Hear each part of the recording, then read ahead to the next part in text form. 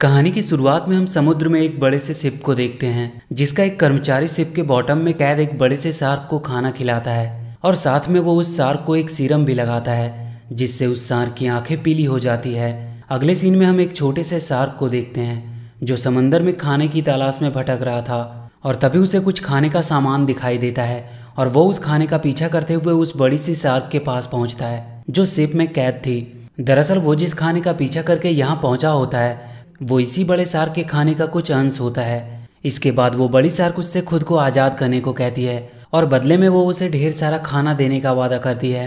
इस बात पर वो छोटा सार्क मान जाता है और वो उस बड़ी सार्क के पिंजरे का दरवाज़ा खोल देता है।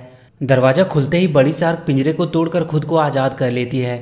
इसके बाद वो बड़ी सार्क बोलती है कि मेरा बदला लेने का समय आ गया है और वो उस छोटी सार्क के साथ वहाँ से निकल पड़ती है।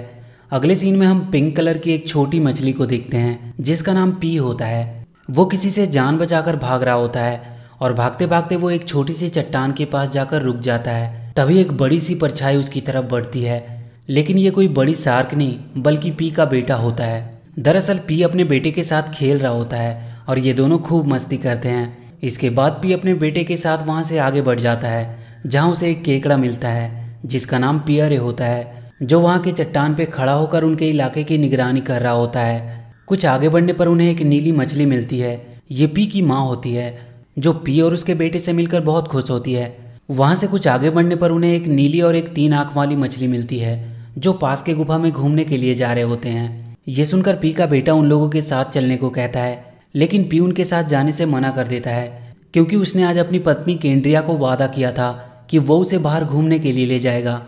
इसलिए वो अपने बेटे को उन लोगों के पास ही छोड़कर वहाँ से निकल जाता है। दूसरी तरफ़ हम उस बड़ी सार को देखते हैं, जिसका नाम ट्रॉय होता है। वो पी के इलाके में आ जाता है और अपनी साथ वाली छोटी मछली से कहता है कि उसे यहाँ पर 1500 से भी ज़्यादा अलग अलग नस्ल की छोटी मछलियों की गंध आ रही है, जिनका शिकार करके उसे बहुत मज़ा आएगा। इसके बाद वो अपने दोस्तों के पास जाता है और उनके साथ मिलकर पी के इलाके के ऊपर हमला करने का प्लान बनाता है। ट्रॉय की बातें सुनकर उसके दोस्त बहुत खुश होते हैं। दूसरी तरफ़ हम पी को देखते हैं। जो अपनी पत्नी केंड्रिया के साथ इंजॉय कर रहा होता है। यहाँ पर उसकी पत्नी पी को बताती है कि बेशक उन लोगों ने ट्रॉय से छुटकारा पा लिया है, लेकिन फिर भी उसे दिखाना होगा कि एक छोटी मछली भी बहुत कुछ कर सकती है और उसे छोटी मछलियों को लीड करना चाहिए, ताकि वो आने वाली मुसीबतों का सामना खुद कर सके। अगले सीन में हम देखते हैं कि ट्रॉय अपने साथियों के साथ तेज़ी से पी के इलाके की तरफ़ बढ़ रहा होता है। तभी वो केकड़ा, जिसका नाम पियरे होता है वो ट्राई को अपने साथियों के साथ आता हुआ देख लेता है और वो ये बातें सभी को बता देता है। ये खबर सुनते ही सब परेशान हो जाते हैं और अपनी जान बचाकर इधर उधर भागने लगते हैं। लेकिन जब ट्रॉय अपने साथियों के साथ पी के इलाके में आता है तो वो आगे नहीं जा पाता है, क्योंकि जहाँ पी छोटी मछलियों के साथ रहता है, उस जगह और समंदर के बीच में चट्टानों की एक दीवार होती है, जिसे ट्रॉय पार नहीं कर सकता है। इसलिए मजबूरी में उसे वहाँ से वापस जाना पड़ता है। वहीं दूसरी तरफ़ हम पी को देखते हैं। जो ट्राई को अपने इलाके में देखकर बहुत परेशान होता है। तभी वहाँ पर एक कछुआ आता है, जो पी को बताता है कि उसने गहरे पानी में तीन सार्क को देखा। वो वापस ज़रूर आएँगे, लेकिन वो चिंता ना करे। एक बार वो खुद जाकर ट्राई से बात करेगा।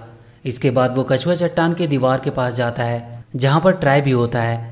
वो ट्राई से कहता है कि वो यहाँ से चला जाए और उन छोटे जीवों को अपनी ज़िंदगी जीने दे। इस पर ट्राई बोलता है कि वो लोग अब उससे नहीं बच सकते, क्योंकि चार दिन बाद समंदर में ज्वार आने वाला है। जिससे समंदर का पानी का लेवल बढ़ जाएगा, तब वो उन लोगों पर हमला करेगा और तब उन्हें ये चट्टान की दीवारें भी नहीं बचा पाएगी। इसके बाद वो अपने टेल से चट्टान पर एक जोरदार वार करता है, जिससे चट्टान से पत्थर गिरने लगते हैं और कछुए को अपनी जान बचाकर भागना पड़ता है और धमकी देने के बाद ट्राय वहाँ से चला जाता है। इसके बाद हम देखते हैं कि सभी मछलियाँ पूरी तरह से डरी हुई है। तभी वहाँ पर कछुआ आता है, जो सबको बताता है कि इस बार मामला कुछ ज़्यादा गंभीर है, लेकिन वो लोग चिंता ना करें। वो इसका कोई ना कोई हल ज़रूर निकाल लेगा।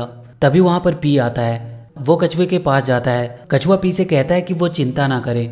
इस समस्या का भी कोई ना कोई हल तो ज़रूर निकलेगा। इस पर पी कहता है कि ये कैसे संभव है? चार दिन में ज्वार आने वाला है और वो अकेला ट्राई को कैसे रोक पाएगा? इस पर कछुआ बोलता है कि तुम अकेले कहाँ हो? तुम्हारे पास तो तुम्हें चाहने वाली की पूरी फौज खड़ी है। वो तुम्हारी बातों को मानते हैं और उन्हें ज़रूरत है एक सही कैप्टन की और वो तुम हो। तुम अगर इन्हें ट्रेनिंग दोगे तो ये युद्ध के मैदान में तुम्हारा साथ ज़रूर देंगे। कछुए की बात मानकर पी सभी छोटे छोटे जीवों को ट्रेनिंग देना शुरू कर देता है। अब एक दिन ट्रेनिंग देने के दौरान एक समुद्री सांप इन्हें देख लेता है और वो इस बात को ट्रॉय को बता देता है। ये बात जब ट्रॉय को पता चलती है तो वो एक प्लान बनाता है। वो उस मछली को जिसने उसे उसके पिंजरे से छुड़ाया था, उसे मारने के लिए उसका पीछा करने लगता है और वो भागते भागते पी के इलाके में आ जाती है, जहाँ ट्रॉय नहीं आ सकता। और जब पी ये सब देखता है तो वो उस छोटी मछली को अपने साथ रहने दे देता है। और इस प्रकार ट्रॉय का प्लान कामयाब हो जाता है। और अब पी के बीच में ट्रॉय का एक आदमी होता है, जो उनकी पल पल की हर खबर ट्रॉय को देता रहेगा। इसके बाद हम देखते हैं कि पी सभी छोटे जीवों को युद्ध अभ्यास करा रहा होता है, लेकिन कोई भी खुद पर अच्छे से कंट्रोल नहीं कर पा रहा था। और इसी दौरान एक मछली वहाँ खराब पड़े पनडुब्बी के अंदर चली जाती है, और अगले ही पल पनडुब्बी में से एक मिसाइल निकलती है, जो पास के एक चट्टान से टकराती है, जिससे एक जोरदार ब्लास्ट होता है। लेकिन खुशकिस्मती से इस दुर्घटना में किसी की जान नहीं जाती है। अब यहाँ पर वो मछली जिसको ट्रॉय ने जासूसी के लिए भेजा था, जिसका नाम रॉनी होता है, वो धीरे धीरे सभी जीवों को अपनी चिकनी चुपड़ी बातों में फंसाना शुरू कर देता है और देखते ही देखते वो सबका फेवरेट बन जाता है। अब एक दिन जब पी सभी को ट्रेनिंग दे रहा होता है, तभी वहाँ पर रॉनी आता है, जो पी से कहता है कि सभी जीवों के पास अलग अलग शक्तियाँ हैं तो क्यों ना एक प्रोग्राम का आयोजन किया जाए, जिसमें सभी जीव अपने अपने टैलेंट का प्रदर्शन करेंगे।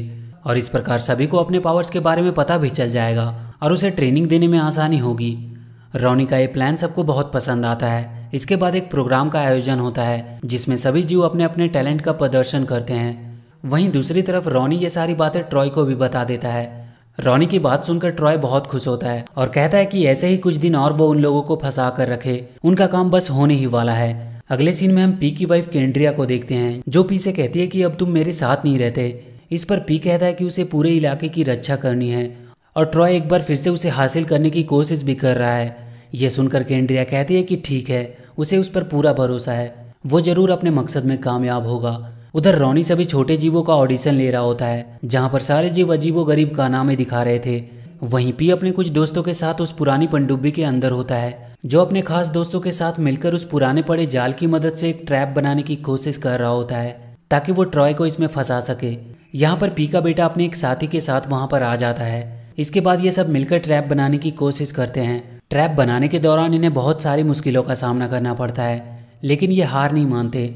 वहीं दूसरी तरफ़ रॉनी अब भी छोटे जीवों का ऑडिशन ले रहा होता है। अगले सीन में हम पी को देखते हैं, जो कैंड्रिया से मिलने जाता है। कैंड्रिया पी से मिलकर बहुत खुश होती है और कहती है कि तुमने देखा कि ऑडिशन में सभी कितने खुश थे। उसने आज तक इन सबको इतना खुश कभी नहीं देखा। इस पर पी कहता है कि ये सब तो ठीक है। लेकिन उसे इस बात पर भी ध्यान देना चाहिए कि ट्रॉय उन पर हमला करने आ रहा है और उन्हें लड़ने की तैयारी करनी चाहिए।